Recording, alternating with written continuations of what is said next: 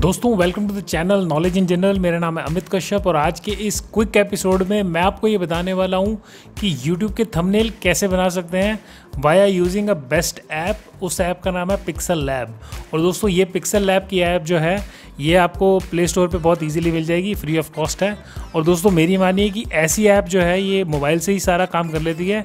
And this is an amazing app मैं इसी को यूज़ करता हूँ अपने थंबनेल बनाने के लिए। और इसके अंदर ऐसे ऐसे फीचर्स हैं, जो आपकी क्रिएटिविटी बढ़ाएँगे। और डिपेंडिंग अपॉन योर क्रिएटिविटी आप अलग अलग तरीक़ों से यूज़ कर सकते हैं। मैं जो इसके बेस्ट फीचर्स जो हैं, वो आपको बताने जा रहा हूँ। तो फटाफट जो है इस इस ऐप को ओपन कर लेते हैं और मैं आपको बताता हूँ कि ये ऐप काम कैसे करती है। सो so, दोस्तों ये मोबाइल की जो स्क्रीन है मैं यहाँ प्रोजेक्ट कर रहा हूँ। अब आप आपको नज़र आ रही होगी। सो so, दोस्तों ये पिक्सल लैब का जो है ये लोगो आप देख रहे हैं इस पर क्लिक करेंगे। तो ये इस तरह का इंटरफेस है जो ओपन होगा। और दोस्तों बहुत सिंपल तरीके से बताऊँ तो यहाँ पर आप देखिएगा सबसे ऊपर जो थ्री डॉट्स नज़र आ रहे हैं आपको उस थ्री डॉट्स पर मैं क्लिक कर रहा हूँ। और क्लिक करके यहाँ पर आप देखिएगा इमेज साइज़ इमेज साइज़ में मैं क्लिक कर लेता हूँ और यहाँ पे कस्टम जो लिखा आ रहा है, उस पर क्लिक करूँगा तो अलग अलग ऑप्शन मिल जाती है कि आप किस चीज़ के लिए जो है बैनर बना रहे हैं। या फिर जैसे मान लीजिए स्क्वायर पिक्चर बनानी है आपको, या फिर अगर आपने यूट्यूब थंबनेल बनाना है तो यहाँ पे मेंशनड है। तो यूट्यूब थंबनेल हम बनाने जा रहे हैं तो यूट्यूब थंबनेल पे क्लिक कर लेंगे और उसको ओके कर देंगे। ये बहुत ही इंपॉर्टेंट है क्योंकि कई बार हम जो है पूरी मेहनत कर चुके होते हैं और फाइनली पता चलता है कि वो यूट्यूब थंबनेल बन ही नहीं सकता क्योंकि उसका पिक्चर ठीक नहीं है। सो ये बिल्कुल परफेक्ट पिक्चर है तो यूट्यूब थंबनेल के लिए। अभी ये जो न्यू टेक्स्ट लिखा रहा है, इसको मैं यहाँ से ऊपर देखिएगा डिलीट का ऑप्शन है, मैं डिलीट कर लेता हूँ। तो ग्रीन कलर का जो आप पोर्शन देख रहे हैं, ये अब थंबनेल है हमारा। अब इसको हम डिज़ाइन कैसे करेंगे, वो हम जान लेते हैं। अब दोस्तों, एक बात को समझ लीजिए कि थंबनेल जब आप डिज़ाइन करने लगते हैं तो उसके अंदर आपको दिमाग चलाना है कि it is actually an layers ये लेयर्स का काम हो रहा है। यानी कि अभी सबसे पहली लेयर ये वाली है। अब इसके ऊपर आप देखिएगा, इस लेयर को अगर हमें क्लियर करना है या लेयर का कलर चेंज करना है तो कैसे होगा? आप इसी इंटरफेस में सबसे नीचे देख रहे हैं जहाँ पे वो कुछ सर्कल्स बने हुए हैं, फिर ए लिखा हुआ है, फिर उसके आगे आप ऑप्शन देखिए इंसर्ट की ऑप्शन है, और उसके आगे लेयर्स बनी हुई हैं एक के ऊपर एक, जो ब्लू कलर में अब दिख रही होंगी आपको। उस वाले वो जो लेयर्स हैं, वो इस सामने ऊपर वाले लेयर की बात कर रहा है।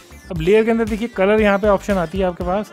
तो कलर पे क्लिक कर देते हैं तो पीछे का कलर वाइट चाहिए, रेड चाहिए, पिंक चाहिए, इस तरह से बिल्कुल बैकग्राउंड चेंज हो जाएगा। अब आप ऊपर कुछ भी काम कर चुके हो इस लेयर के, कभी भी इस लेयर को आप चेंज कर सकते हैं, इसका कलर चेंज कर सकते हैं। अभी के लिए मैं इसको वाइट कर लेता हूँ। और एक और चीज़, अगर यहाँ पे देखिए ऑप्शन आ रही है इमेज यहाँ पे गिवन इमेज भी हैं जो इसके अंदर इनबिल्ट हैं और फ्रॉम गैलरी अगर आपने मान लीजिए कोई बैकग्राउंड आपको पसंद आ रहा है किसी फोटोग्राफ का, वो अगर आप इस बैकग्राउंड में डालना चाहते हैं तो गैलरी पर क्लिक कर लीजिए। ये देखिए, मैं जैसे गैलरी में आ गया हूँ। तो सपोजिंगली अगर मुझे पबजी की ये पसंद है तो ऐसे मैं इसको सिलेक्ट करूँगा तो पीछे जो है वो बन जाएगी इसी की, जो अगर मैं सिलेक्ट कर लूँ, देखिए, पीछे उसी का ये जो है लोगो बन गया। थंबनेल का बैकग्राउंड वो बन गया। So this is very easy ये वाला चीज़ जो है आप बहुत इजीली परफॉर्म कर सकते हैं। अभी के लिए हम वाइट कर देते हैं।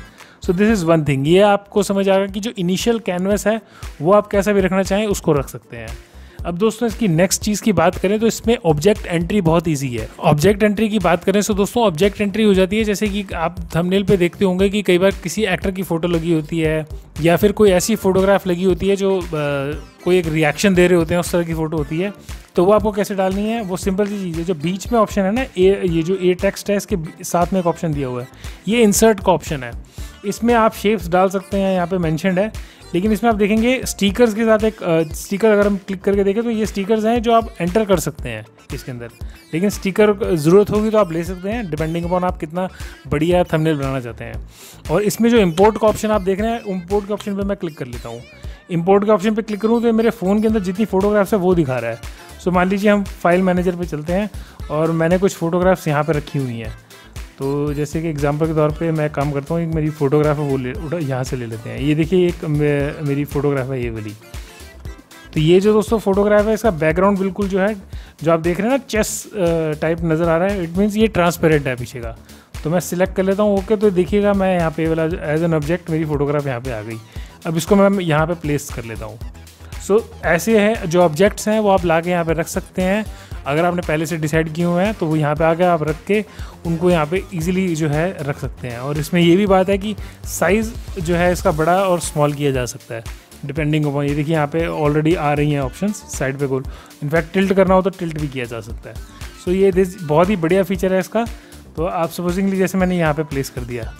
तो अब इसके बाद नेक्स्ट साइड पे अगर मैं क्लिक करूँ तो अब हम इसके अंदर और कुछ करना चाहें तो वो भी कर सकते हैं। टेक्स्ट एक बार लिख के देख लेते हैं। तो क्योंकि टेक्स्ट के साथ साथ मैं आपको इसकी और बेटर फीचर के बारे में बताऊँगा। तो ऊपर जो आप प्लस का बटन देख रहे हैं, वो प्लस के बटन को आप क्लिक कर दें। प्लस के बटन को क्लिक करेंगे तो यहाँ पे टेक्स्ट पे क्लिक करना है। तो देखिए यहाँ पे छोटा सा टेक्स्ट का बॉक्स खुल गया है। उस टेक्स्ट के बॉक्स पर मैं डबल क्लिक करूँगा तो उसके अंदर मैं एंटर कर जाऊँगा। यहाँ पे जो है I can enter any text मैं सवाल लीजिए, यहाँ पे लिखता हूँ एग्ज़ाम्पल और इसको ओके कर देता हूँ। तो देखिए यहाँ पे एग्ज़ाम्पल लिखा आ गया। अब बात हो जाती है टेक्स्ट जो हम लिखते हैं, ये बहुत अट्रैक्टिव होना चाहिए। तो उसके लिए क्या है देखिएगा दोस्तों, ये उसी मैंने एग्ज़ाम्पल पे क्लिक कर रखा है अभी भी। आप देखिएगा वो सिलेक्टेड होगा तो उसके आसपास एरो बने आ रहे हैं, उसके ऊपर आसपास जो है पैरामीटर बना आ रहा है। सो अब नीचे चलते हैं ए पे क्लिक करेंगे, यानी कि हम टेक्स्ट चीज़ें चेंज करनी है ना। तो दोस्तों, यहाँ पे ऑप्शन देखिए नीचे दे रखी है already to back to front position relative size अब मान लीजिए साइज़ पे क्लिक करते हैं तो यहाँ पे हम इसको बड़ा कर सकते हैं, ऐसे आप देखिएगा। और साइज़ को यहाँ से ओके कर देंगे तो ये बड़ा हो जाएगा। इन एडिशन टू दिस उसको अगर हम थोड़ा चाहते हैं कि वो डिज़ाइनदार हो तो यहाँ पे मैंशनड है। कलर कलर के अंदर भी जो टेक्स्ट हमने लिखा है, उसका कलर आप क्या देना चाहते हैं? मैं मान लीजिए ब्लैक देना चाहता हूँ या रेड देना चाहता हूँ तो यहाँ से मैं उसको सिलेक्ट कर सकता हूँ। इसको डन कर लेते हैं। इसके अलावा अगर मैं बात और स्क्रॉल करूँ तो दोस्तों यहाँ पे ऑप्शन देखेंगे आप, आती है फ़ॉन्ट की। तो यहाँ पे फ़ॉन्ट भी हम जो है इसमें मेंशन हुआ हुआ है कि किस तरह का रखना चाह रहे हैं। तो अलग अलग फ़ॉन्ट दे रखे हैं। मान लीजिए हमने ये ले लिया तो देखिए इस तरह से लिखा आएगा उसके अलावा यहाँ पे देखिए बोल्ड करने का ऑप्शन है। बोल्ड भी कर सकते हैं। बोल्ड हो गया, देखिए एग्ज़ाम्पल लिखा हुआ। So this is one thing अब आगे अगर हम देखें तो अलग अलग ऑप्शन है कि पीछे का बैकग्राउंड ये अभी ब्लैक में लिखा है और ब्लैक वाइट चल रहा है तो कोई दिक्कत नहीं है। अगर आपको लगे कई बार होता है कि हमारा कैनवस ऐसा होता है वो कलर मैच नहीं कर रहा होता तो अगर आप चाहें इस पर्टिकुलर एग्ज़ाम्पल को का बैकग्राउंड वाइट कर देना या ब्लैक कर देना वो भी बहुत ईजिली पॉसिबल है। सो so, और इसके अंदर दोस्तों एक इंपॉर्टेंट चीज़ जो है वो यहाँ पे देखिएगा जो मुझे बहुत कूल फीचर लगा। यहाँ पे एक देखिएगा जो फीचर है स्ट्रोक स्ट्रोक पे अगर मैं क्लिक करता हूँ तो आप यहाँ पे इनेबल का ऑप्शन आता है इनेबल कर देते हैं। तो स्ट्रोक का मीनिंग दोस्तों ये है, जो एग्ज़ाम्पल आप वर्डिंग लिखी हुई देख रहे हैं ना, इसके बॉर्डर्स पे ऑलरेडी एक ना लेयर आ जाएगी। अब देखिएगा कैसे। यहाँ सपोजिंगली अभी ये ब्लैक है, इसका मैं रेड सिलेक्ट कर लेता हूँ। तो आप देखिएगा एग्ज़ाम्पल जो लिखा रहा था, उसके बॉर्डर्स पे जो है रेड कलर का जो है वो लाइन्स आ गई हैं। और उस लाइन को जो है यहाँ पे नीचे ऑप्शन दे रखी है स्ट्रोक विथ उसको अगर मैं इंक्रीज़ करूँगा तो वो ज़्यादा हो जाएगी, देखिए।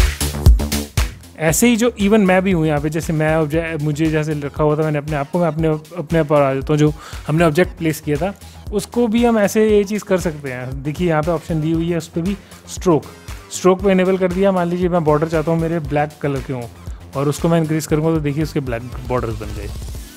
So this is amazing app ये वाली ऐप के थ्रू जो है आप अपना थंबनेल बहुत बढ़िया तरीके से बना सकते हैं। सो so, दोस्तों बा, बाकी अगर मैं बात करूँ तो ये आपका क्रिएटिविटी लेवल है। ये ऐप ये जो थंबनेल है वो आप कैसे बनाते हैं यूजिंग दीज जो इम्पोर्टेंट या जो स्मार्ट स्टफ्स जो इसके अंदर दे रखे हैं उसको लेकर। सो so, दोस्तों इस वीडियो के लिए बस इतना ही। अगर आपको ये वीडियो पसंद आई हो तो वीडियो को लाइक ज़रूर कर दीजिएगा और चैनल को सब्सक्राइब करना बिल्कुल मत भूलिएगा। This is Amit Kashyap signing off